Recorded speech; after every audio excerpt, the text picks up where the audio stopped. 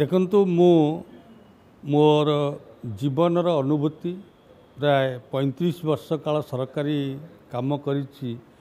ସେ ଯେଉଁ କାମ କଲା ଭିତରେ ଯେଉଁ ଅନୁଭୂତି ତାପରେ ରାଷ୍ଟ୍ରୀୟ ସ୍ୱୟଂସେବକ ସଂଘ ଏବଂ ଶିଶୁ ମନ୍ଦିର ଯୋଜନାରେ ବି କୋଡ଼ିଏ ବର୍ଷ କାମ କରିଛି। ତାର ମୋର ଅନୁଭୂତି।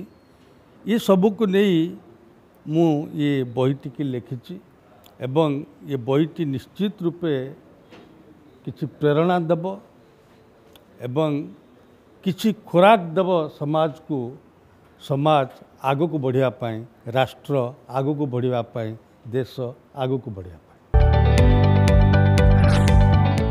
ଯଦି ଆପଣଙ୍କୁ ଆମ ଭିଡ଼ିଓଟି ଭଲ ଲାଗିଲା ତେବେ ଆମ ଚ୍ୟାନେଲକୁ ଲାଇକ୍ ସେୟାର ଓ ସବସ୍କ୍ରାଇବ୍ କରିବାକୁ ଜମା ବି ଭୁଲନ୍ତୁ ନାହିଁ